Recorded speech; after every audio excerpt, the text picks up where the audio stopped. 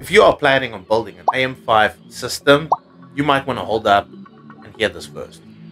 So we need to be talking about something which has been hitting these chips quite hard and specifically this seems to be affecting the X3D chips most.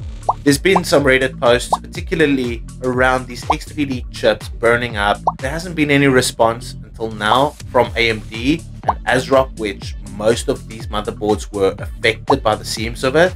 So according to a survey on Reddit, there's been over a hundred of these X3D chips burning up.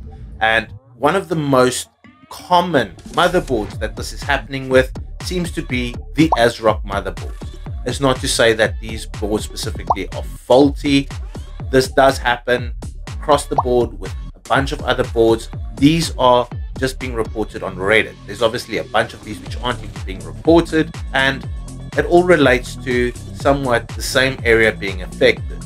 Now, AMD have officially responded to this, and let's cover what the findings are. This ties to what they say seems to be memory compatibility. This has now been patched out with the BIOS update.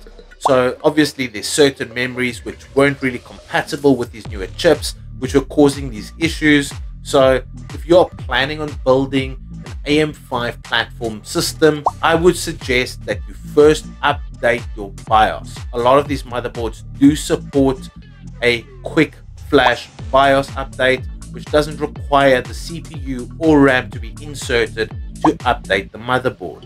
Heck, if you do struggle, there's a bunch of videos out there showing how to do this. This obviously doesn't affect all builds. Unfortunately, AMD has not confirmed which memory brands slash types were causing these issues. Would be great to know, but hey, like I suggested, update your BIOS before doing anything on the system. I've personally seen that a lot of us do neglect updating our BIOS. Why fix what's not broken? but clearly this has to be a new standard of adoption for us all. Things need to change and we need to start updating BIOSes before you actually start working on the system more intensively. So my question is, have you updated your BIOS?